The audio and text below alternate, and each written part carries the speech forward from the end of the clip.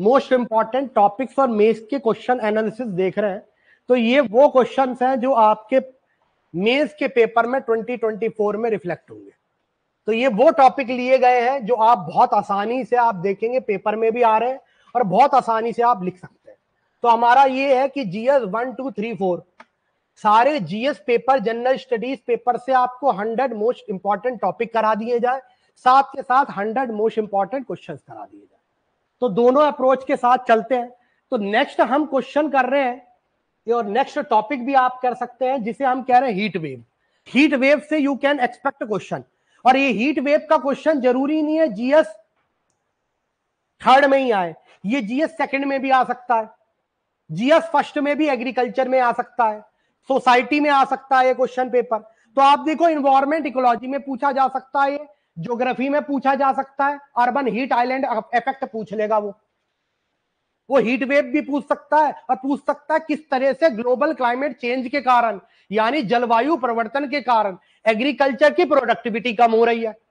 आपकी नज़र में तो हीट वेव है हीट वेव कितना, जो मिट्टी होती है, उससे सारा मॉइस्चर खत्म कर देती है।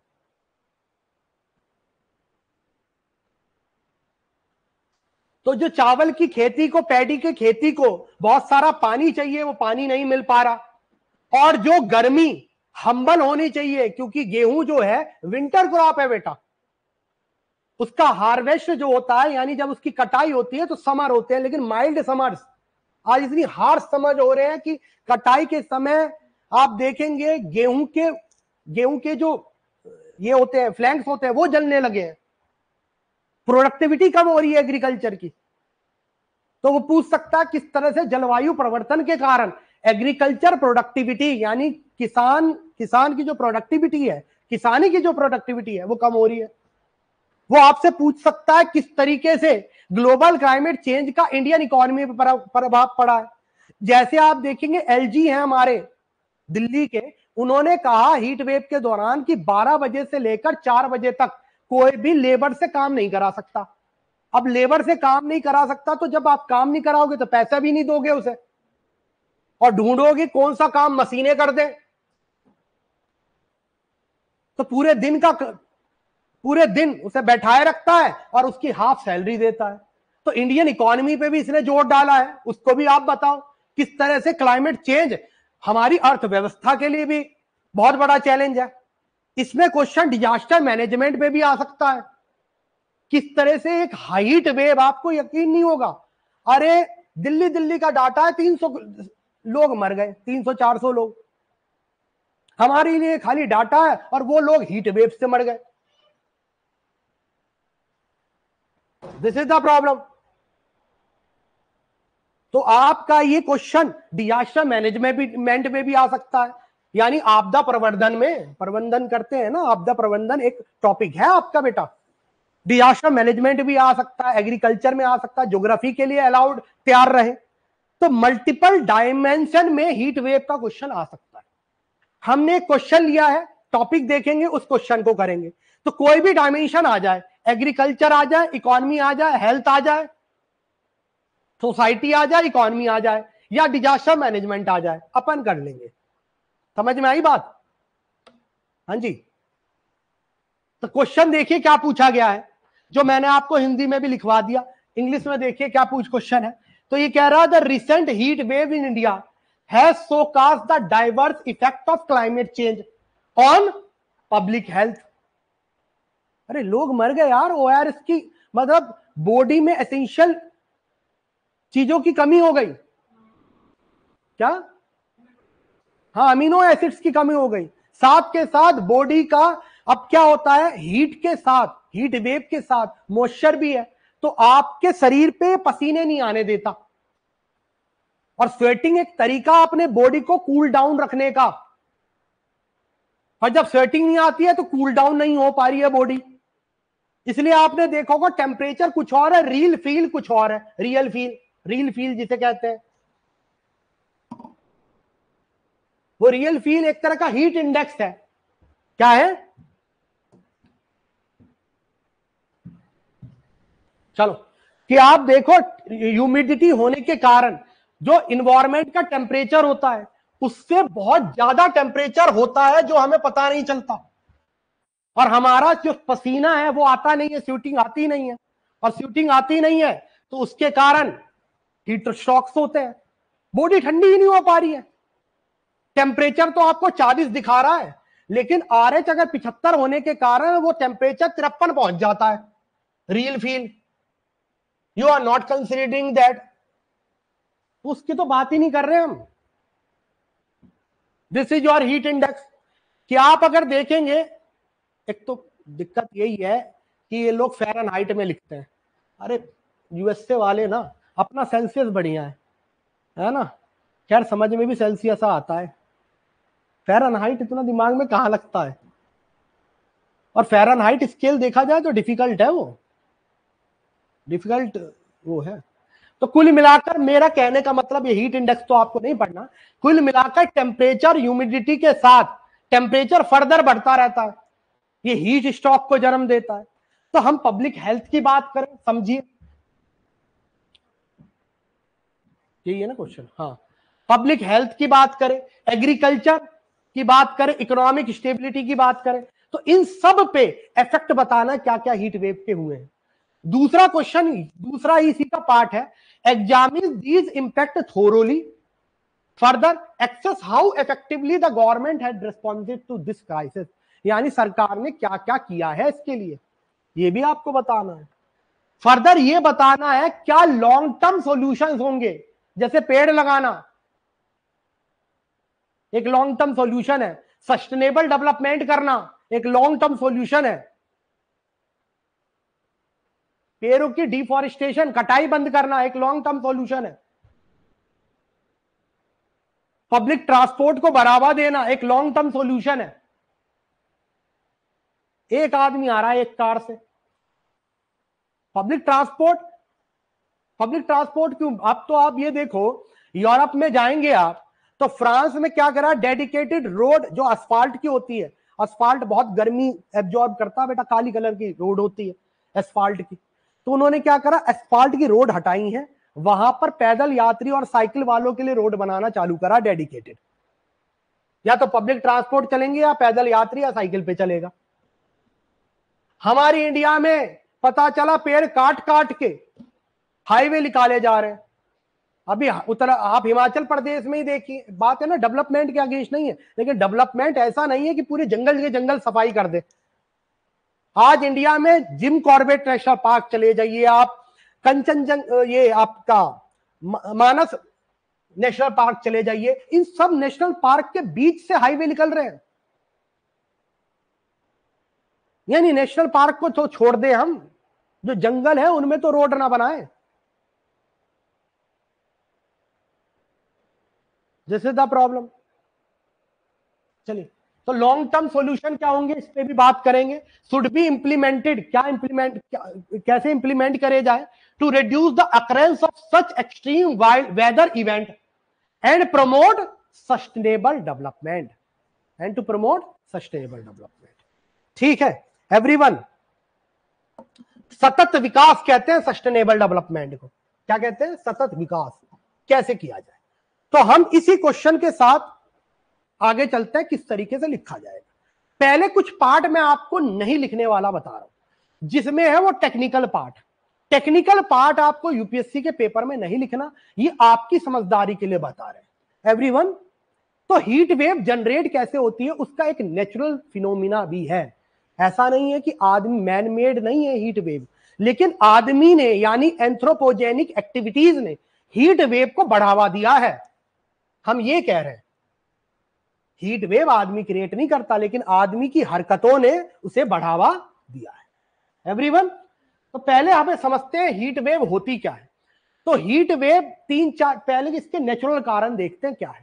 पहला नेचुरल कारण है कि आप अगर मार्च के महीने के बाद देखेंगे तो इंटर ट्रॉपिकल कन्वर्जन जोन जो है, यानी हाई प्रेशर का जो एरिया है, आप ये समझिए हाई प्रेशर जहाँ एयर डिसेंड कर रही है।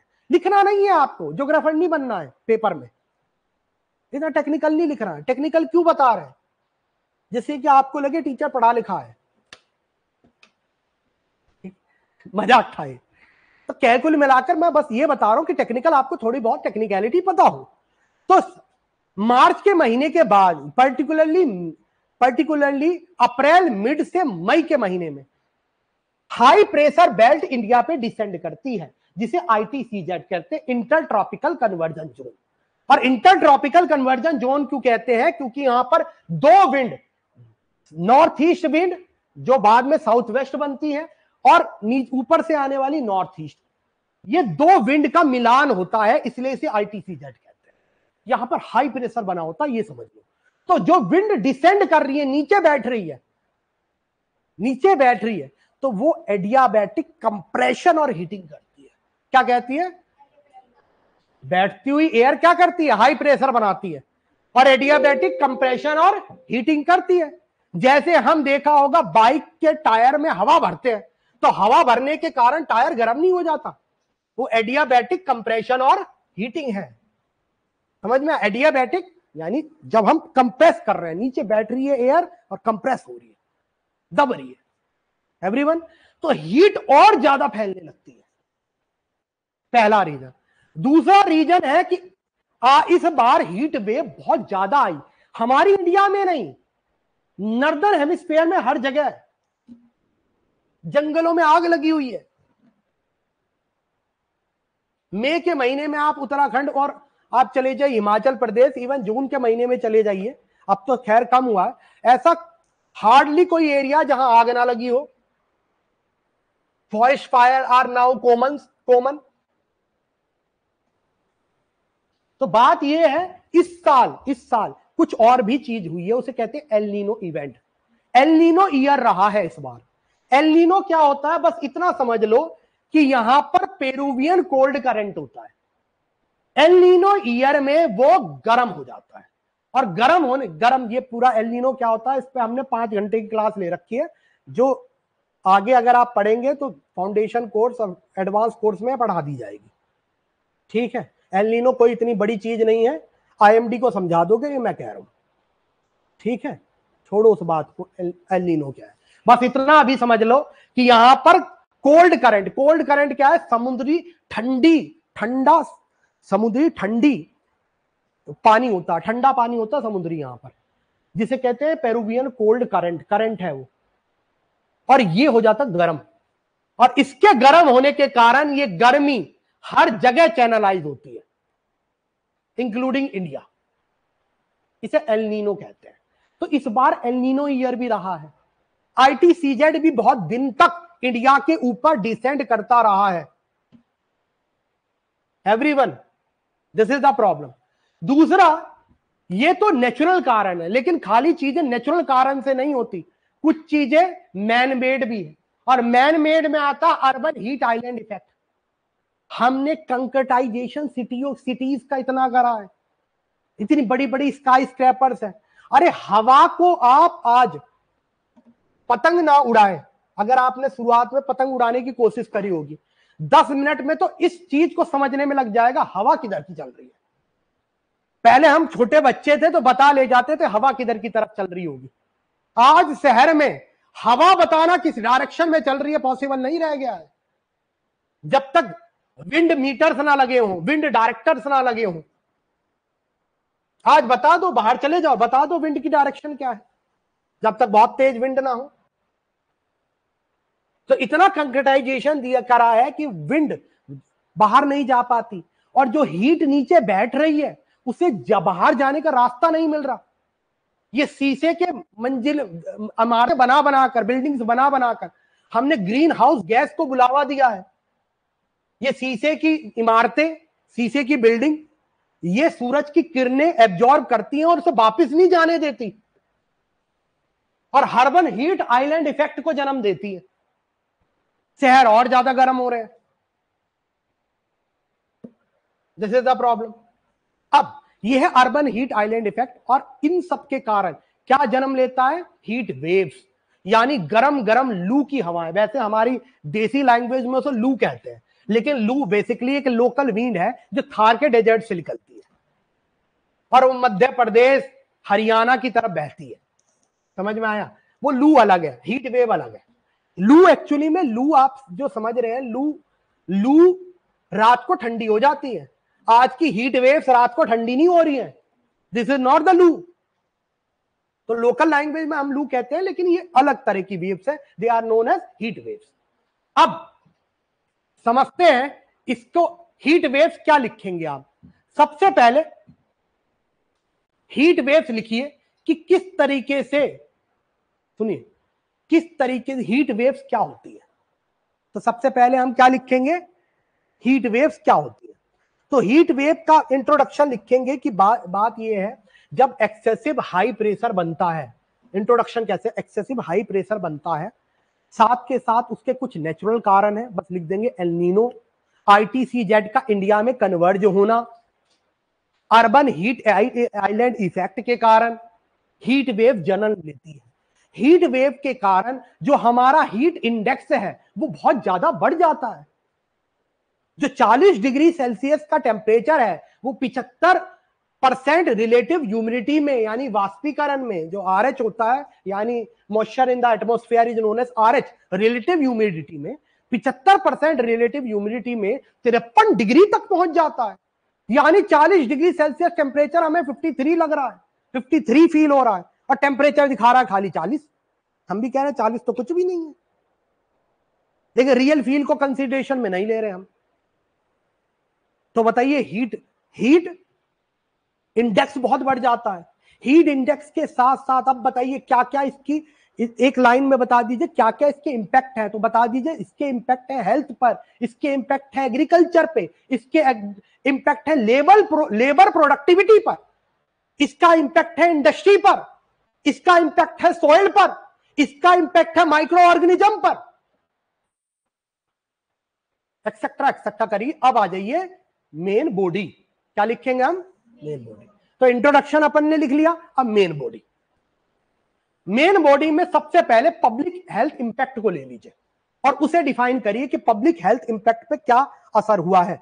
तो आप बताए आप बताएँगे कि एक बड़ी फ़ेमस बुक है, जो लिखी गई जेफ गॉडेल की book book the heat will kill you first उसने बताया किस तरह से extreme nature of heat wave हो गया और हीट वेव ने 143 143 डेथ कॉज हुई है हीट वेव के कारण इंडिया इंडिया अलोन में। और वर्ल्ड वाइड देखे वर्ल्ड वाइड क्या छोड़ो 43 डेथ इंडिया इंडिया में हुई है। और बयालीस हज़ार से ज़्यादा केसेस आए हैं हीट स्ट्रोक के इंडिया में। In India India alone data quote करिए। साथ के साथ बताइए कि सबसे ज़्यादा वनरेबल पॉपुलेशन इस हीट वेव के कारण गरीब लोग हैं। आप तो एसी चला के रहते हैं, लेकिन जो एसी से, एसी चलाने में एक्सेसिव कोयला जल रहा है, उस कोयला से फर्दर ग्लोबल वार्मिंग उससे फर्दर हीट वेव जनरेट होती है। क्योंकि वो कोयला जब जलता है तो अपने साथ सीओटी फेंकता है एटमोस्फेयर में। अपने साथ global green house gases atmosphere में फेंकता है। और आपको यकीन नहीं होगा कोई हमने इस बार इतने एसी चलाए हैं कि कोयला की जो खपत है, वो अनप्रेसिडेंटेड है इस बार अनप्रेसिडेंटेड सारे रिकॉर्ड तोड़ दिए हैं उसने। आज इंडिया को कोयला भी बाहर से मंगवाना पड़ रहा है। कोयला की शॉर्टेज हो गई है। और एसी चला चला कर, मान लो कमरे में कोई है नहीं, फिर भी एसी चला हुआ है। अरे उन गरीब आदमियों की सोचो जो तुम्हारे एसी के गर्मी के नीचे रह रहे हैं। तुमने तो घर में फालतू का एसी चला रखा है। लेकिन जो बाहर काम कर रहा है, जो रेडी पर है, मजदूर है, उसकी बहुत बुरी हालत है, क्योंकि वो एसी में नहीं बैठा है।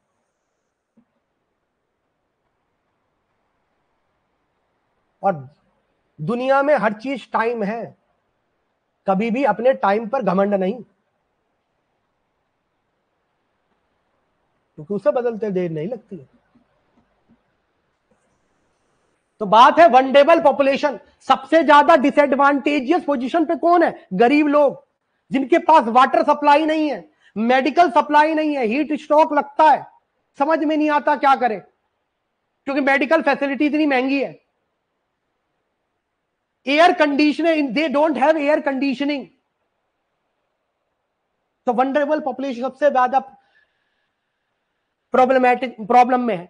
फर्दर अलार्मिंग मोर्टेलिटी रेट एक सौ लोगों की मौत हो गई। और आपके लिए बस डेटा है, किसी के लिए परिवार है। An alarming rate of mortality तो पब्लिक हेल्थ में आपको यह लिखना है फॉर एग्रीकल्चर सेक्टर में क्रॉप इल्ड जो है, यानी क्रॉप की जो प्रोडक्टिविटी है, जो कृषि की प्रोडक्टिविटी है, वो कम हो गई है। आज अगर आप देखें तो सुगर में, सुगर इंडस्ट्री ने कहा है कि सुगर गन्ना, किसान जब गन्ना लेके आते हैं तो उसमें फाइबर फाइबर ज़्यादा मिल रहा है जूस मिल नहीं रहा। कितनी गर्मी हो गई है। अरे गन्ने का जूस खत्म हो रहा है। गेहूँ की पैदावार खत्म हो रही है। चावल का रोपना जो इस समय करते हैं, उसके लिए पानी नहीं मिल रहा है। और इतना दोहन है। और उस दोहन एक्सप्लोइटेशन के कारण आप कहीं से पानी लेके आते हैं, वो उस पूरे मिट्टी को और सैलाइन और एल्कलाइन बनाता जा रहा है। आज हरियाणा और पंजाब की जो खेती रही है, कुछ दिनों बाद अगर इसे यहाँ पर ठीक नहीं करा गया, चावल और गेहूँ नहीं बंद करा गया तो यहाँ की ज़मीन खाली बिल्डिंग बनने लायक ही रहेगी बस। जो आप कुछ हद तक बना भी रहे हो। तो सपने में ही सोचना कि एक पेड़ होता था और उस पर गोरैया आती थी बचपन में। Mass concretization concretization crop yield reduction हो रहा है। किसान जो पैसे लेकर लोन लेकर, जो खेती करता है, उसे खेती से कुछ मिल नहीं रहा है रूम रेटिव नहीं है, पैसा कमा के खेती नहीं दे रही है। तो फार्मर डिस्ट्रेस है फार्मर डिस्ट्रेस है। फाइनेंशियल डिस्ट्रेस है फार्मर का।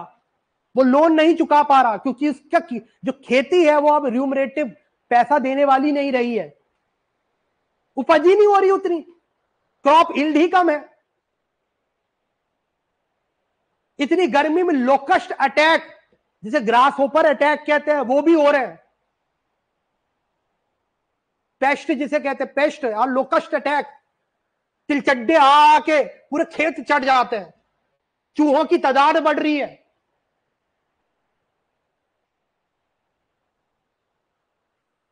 लॉन्ग टर्म कॉन्सिक्वेंस कितना हम उस देश के वासी हैं जहाँ 140 करोड़ पॉपुलेशन रहती है।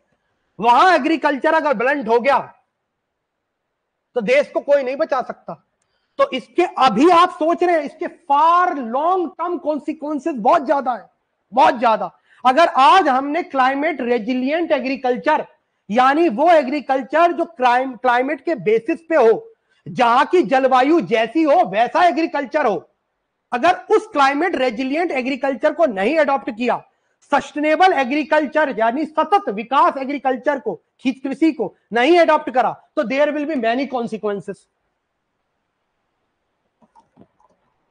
food insecurity सबसे बड़ा क्राइसिस खाद पद, खाद खाद और खाने की कमी। आज कोविड में अगर बचाने वाला हमारी पूरी इंडियन इकोनॉमी को कोई है तो वो हमारा खाना है फ़ूड सिक्योरिटी है। और उस पर भी अब ग्रहण लगे हुए हैं। बिकॉज़ ऑफ़ जलवायु परिवर्तन क्लाइमेट चेंज हीट वेव्स आगे आइए। इकोनॉमिक रेमिफिकेशन लेबर प्रोडक्टिविटी कम हुई है। ऐसा डेटा बता रहा है कि ओवर फाइव परसेंट जो इंडियन लेबर प्रोडक्टिविटी कम हुई है कि पाँच परसेंट इंडिया की जीडीपी को नुकसान लेबर प्रोडक्टिविटी कम होने के कारण हुआ है। और क्यों कम हो गई है? इतनी हीट वेव्स अरे आप खुद सोचो इतनी गर्मी में, जो मे की गर्मी याद करो। और सोचो इतनी गर्मी में कोई आदमी काम कर रहा होगा तो कितनी प्रोडक्टिविटी में कर रहा होगा? यू कैन इमेजिन आप तो एसी में बैठे हैं, वो एसी में नहीं बैठा है।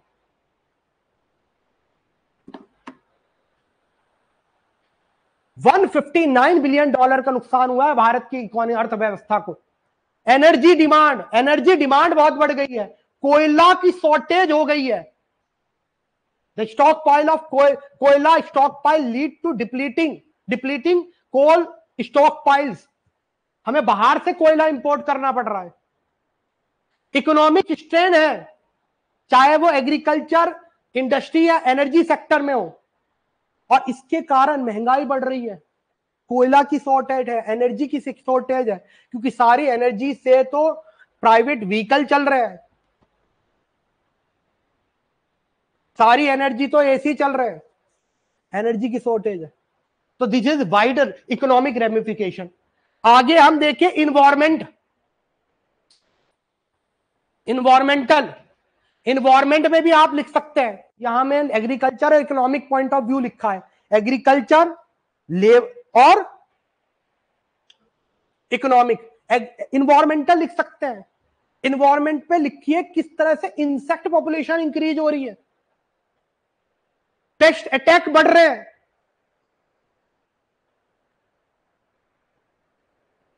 बायोडाइवर्सिटी खत्म हो गई है, खत्म सी हो रही है मतलब ये के लिए there is loss of biodiversity cows की प्रोडक्टिविटी कम हो रही है.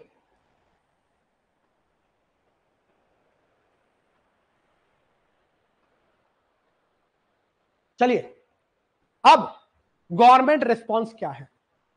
तो देखिए गवर्नमेंट रिस्पांस तो ये है, हमने कहा प्राइम मिनिस्टर हमारे prime minister beloved prime minister ने कहा कि हम 2017 70 70 तक, यानी 2017 तक नेट ज़ीरो ले आएँगे। यानी रिन्यूएबल एनर्जी से सारी चीज़ चलेगी, कोयला नहीं जलाएँगे नेचुरल गैस नहीं जलाएँगे। लेकिन इसे, इस नेट ज़ीरो एमिशन को, यानी कोई हम रिलीज़ नहीं करेंगे एटमोस्फेयर में ग्लोबल ग्रीन हाउस गैस इस नेट ज़ीरो एमिशन प्लेज को हमें जल्दी करना पड़ेगा। क्योंकि हम अभी हीट वेव का प्रभाव इतना देख रहे हैं। आगे जाके हीट वेव्स और ज़्यादा प्रोपेंसिटी में आनी है। तब क्या होगा? और सबसे ज़्यादा अगर कोई डाउन टर्ड में रहेगा तो वो गरीब कंट्री रहेंगी डेवलपिंग कंट्री रहेंगी इमर्जिंग कंपनी कंट्रीज़ रहेंगी, जिनके पास ना टेक्नोलॉजी है इस क्लाइमेट चेंज से लड़ने के लिए, ना उनके पास इतना कैपिटल है कि वो बड़े बड़े प्रोजेक्ट फंड कर सके। ना उनके पास इतना घरों में एसी है। और वो सबसे बड़ी बात है, ट्रॉपिकल लैटिट्यूड में रहती है जिनका नेचर ही गर्म है। Tropical latitude. उष्म कटिबंधीय जिसे कहते हैं। Tropical latitude they are in tropical latitude तो नेट ज़ीरो प्लेज करा है। फर्दर सरकार ने कहा है सरकार ने जो कोल रिलायंस है, कोयला पे हमारा रिलायंस है। अभी भी अगर बात करें तो कोयला कोयला जलाने से इंडिया की 50 परसेंट एनर्जी नीड्स की खपत होती है 50 परसेंट। हमें से कम करने की ज़रूरत है। कर, सरकार रेजिलियंट तो है कि हम कोयला को कम करेंगे, लेकिन इस पे भी काम हमें जल्दी करना पड़ेगा। फर्दर जब भी इन्वायरमेंट आप देखो इन्वायरमेंट इंपैक्ट असेसमेंट होता है कोई भी प्रोजेक्ट होता है तो। जैसे चार धाम हाईवे है, या फिर four lane highway Uttarakhand Himachal Pradesh में बन रहा है। ठीक है, इन सबका इन्वायरमेंट इंपैक्ट असेसमेंट होता है। आप सजेशन लिखिए कि एक्सपर्ट कमिटीज ने कहा है कि जब भी इन्वायरमेंट असेसमेंट हो, ऐसे प्रोजेक्ट का जिसमें मास जंगल काटे जाएँ। क्या कहा मैंने? मास जंगल काटे जाएँ। तो उसका इन्वायरमेंट क्लियरेंसेस स्पीडी नहीं होना चाहिए। उसका प्रॉपर इन्वायरमेंट इंपैक्ट असेसमेंट होना चाहिए। और लिखो many expert has raise concern regarding EIA लिखो ये बात। हाँ जी। तो दीज आर सम जो सरकार का रेस्पॉन्स है। अब चैलेंजेस क्या क्या है? चैलेंजेस क्या क्या है? सबसे पहले इन्वायरमेंट पॉलिसी और चैलेंजेस सबसे बड़ी बात, जैसे हमने चार लेन का हाईवे हिमाचल प्रदेश में बना रहे हैं। हमने कहा है चार लेन का हाईवे नाइन बिलियन का मेजा मेगा प्रोजेक्ट हम ग्रेट निकोबार आइलैंड में लगवा रहे हैं। नाइन बिलियन का डॉलर का प्रोजेक्ट अब यार वो निकोबार के वर्षावन इक्वेटोरियल रेन फॉरेस्ट आप उसे काट काट के इंफ्रास्ट्रक्चर प्रोजेक्ट बना रहे हैं। Sustainable development is the need of the hour आप यहाँ पे भी लिखिए कि many expert has raise concern about nine billion dollar investment in Andaman Nicobar ठीक है then development should be based on sustainable development not a unplan development which can have a detrimental effect खराब effect हो environment पे। तो ये challenges challenges लिखने हैं ना आपको? तो ये चैलेंजेस लिखिए। और क्या चैलेंजेस है? इकोलॉजिकल डिस्ट्रप्शन डिफॉरेस्टेशन हो रहा है। आप एक पेड़ नहीं काट सकते, ठेकेदार पूरे पूरा जंगल काट देता है। आप एक पेड़ काटे तो जेल जाएँगे। और जो सरकार जिन्हें ठेका दे रही है, वो पूरे पूरे जंगल काट देता है और उन्हें कोई कहने सुनने वाला नहीं। This is the problem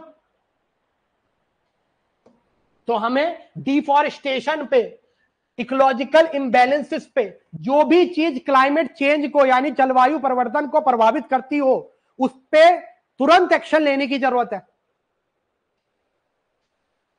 next policy conflict simple सी बात है, हमें बैलेंस रीजनल और सस्टेनेबल डेवलपमेंट की ज़रूरत है।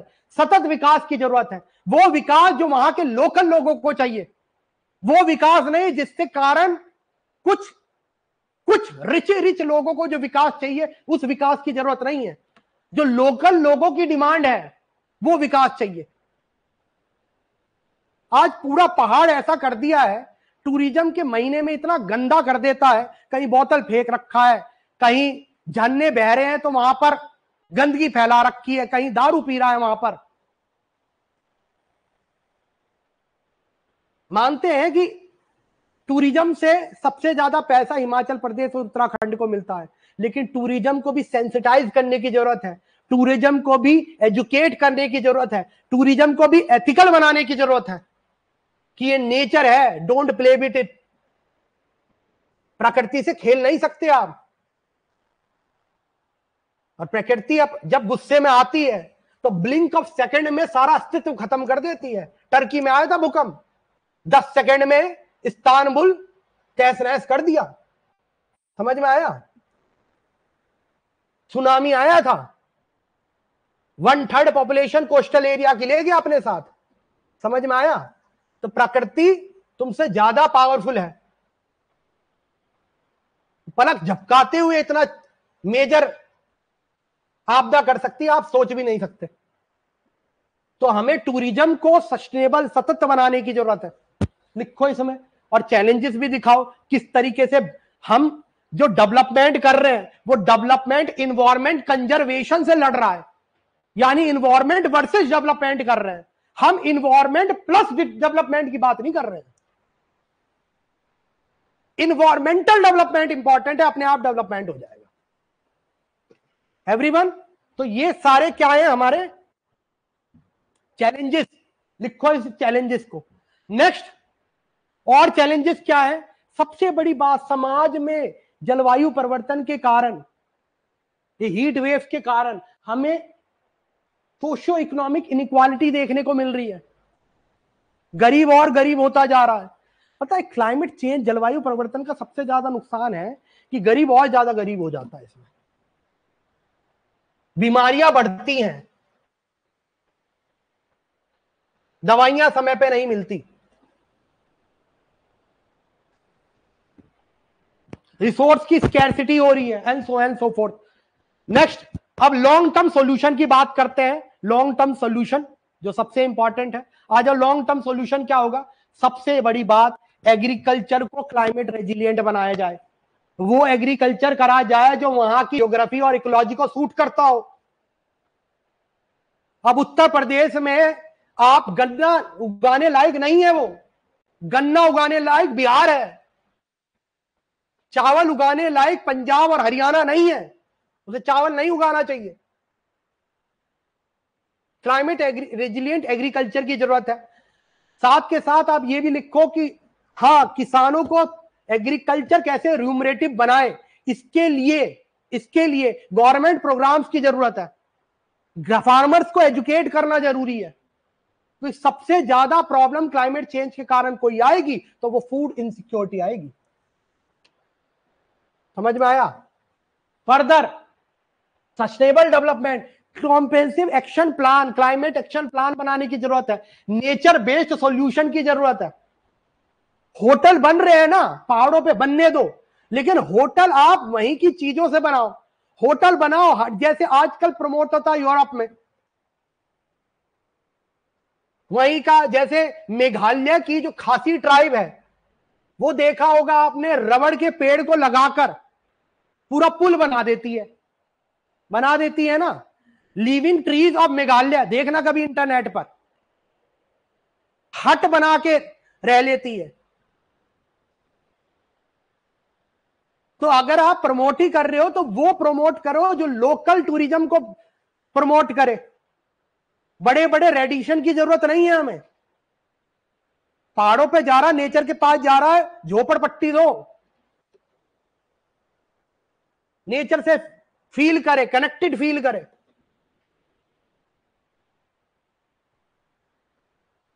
मैं विकास के अगेंस्ट नहीं हूँ, ना आप विकास के अगेंस्ट हो सकते हो, ना टूरिज़्म के अगेंस्ट हो सकते हो, लेकिन टूरिज़्म कैसे सतत सस्टेनेबल बताइए ये। इक्विटेबल रिसोर्स एक्सेस की ज़रूरत है। जिसमें चाहे वो वाटर हो इलेक्ट्रिसिटी हो हेल्थ केयर है ये हमें अपने वनडेबल सेक्शन को प्रोवाइड करनी पड़ेगी। आज राइट टू एजुकेशन को सॉरी राइट टू इलेक्ट्रिसिटी को अंडर आर्टिकल 21 डालना ज़रूरी है। हर किसी का अधिकार है एनर्जी पर। ये कोयला ज़मीन का ही तो है नेचुरल रिसोर्स ही तो है। ये सूरज की रोशनी नेचुरल रिसोर्सेज तो है। हर किसी का अधिकार है इलेक्ट्रिसिटी पर। हर किसी का अधिकार है पानी पर। हर किसी का अधिकार है एयर पर। तो उसका जो अधिकार है, उतना ही उसे मिल जाए। हम इक्विटी की बात कर रहे हैं। और हमारा है क्यों? उन सारे जीव जंतुओं का, प्राणियों का भी अधिकार है उस पर तो। तो these can be long term solution और फॉर लॉन्ग टर्म सॉल्यूशन क्या होंगे? जल्दी से। पब्लिक हेल्थ इंटरवेंशन की ज़रूरत है हमें कि सरकार वाटर का एक्सेस प्रोवाइड करे। ओरल रिहाइड्रेशन करवाए ओआरएस के कैंप लगवाए। आम पब्लिक देखा होगा गर्मी में वो पिलाती है। क्या कहते हैं बेटा उसे? रुआबजा सरकार क्यों नहीं कर सकती? सरकार को ओआरएस लगाने चाहिए कैंप लगाने चाहिए ओआरएस के। पब्लिक प्लेस पब्लिक प्लेस को heat related facility heat related जो फैसिलिटी है, वो भी पब्लिक प्लेस पे प्रोवाइड की जाए। सस्टेनेबल कूलिंग हो, कि ये नहीं कि मास एसी लगा दिए सस्टेनेबल कूलिंग वेंचुरी इफ़ेक्ट जिसके ऊपर पहले है ना, पहले जमाने में हमारे घरों में जालियाँ होती थी वेंचुरी इफ़ेक्ट को जन्म देती थी। बाहर से गरम गरम हवा आती थी, एकदम से छोटे ब्लॉक में जाती थी, और जब एकदम से बड़े छेद से छोटे छेद से बड़ा होती थी तो ठंडी हो जाती थी। वेंचुरी इफ़ेक्ट कहते हैं। इसी वेंचुरी इफ़ेक्ट में एसी काम करता है। हम जाली जालियाँ क्यों नहीं लगाते? Open airy environment. वो देने की ज़रूरत है। और एसी और कूलर, कितने कितना पानी को वेस्ट करता है इन्वायरमेंट में जब कूलर भी चलता है तो कूलर भी जो पानी पानी देखा होगा, उसे रोटेट करके जो रिलीज़ करता है, उसका भी वो ऑपरेशन होता है। वो फर्दर आर एच बढ़ाता है इन्वायरमेंट में। फर्दर हीट स्ट्रोक को जन्म देता है। अभी अभी हमने पढ़ा था इस बारे में। सस्टेनेबल कूलिंग की ज़रूरत है वर्क प्लेस एडेप्टेशन की ज़रूरत है। यानी फ्लेक्सिबल वर्किंग आवर्स हो स्पेशल अरेंजमेंट हो, जो भी आउटडोर वर्क वर्कर है। उन्हें हीट स्ट्रोक जब हो रही हो, तब उन्हें बाहर काम ना कराया जाए। उनके लिए कुछ सेड टाइप का तो सिस्टम हो कि कड़ी दोपहरी में तो काम नहीं कर रहा वो at least this is the need of the hour और क्या सॉल्यूशन हो सकता है? कॉम्प्रेंसिव हीट एक्शन प्लान बनाया जाए। सरकार public policy comprehensive heat action plan बनाए, जिसमें लाइव लाइव स्टॉक यानी जो चरवाहे होते हैं वाइल्ड लाइफ इन सबको प्रोटेक्ट करने की बात हो। संडाई फ्रेमवर्क का इंप्लीमेंटेशन हो। यानी डिजास्टर जो है हीट स्ट्रोक का जो डिजास्टर है, उससे उससे उससे मिटिगेट करने के लिए प्लान बनाया जाए। ऐसी बिल्डिंग कोड डेवलप करी जाए जो पूरे शहर में एक एरी इन्वायरमेंट बनाए। अर्बन हीट आइलैंड इफ़ेक्ट को जन्म ना दे। अभी पढ़ा था अर्बन हीट आइलैंड इफ़ेक्ट कि शहर की जो जगह है वो ज़्यादा गर्म है। अब पब्लिक अवेयरनेस और अकाउंटेबिलिटी की ज़रूरत है। ये आ गया आपका सॉल्यूशन अब जल्दी से आंसर लिख दीजिए. समझ गए आंसर क्वेश्चन समझ गए? अब जल्दी से हम आंसर लिख देंगे.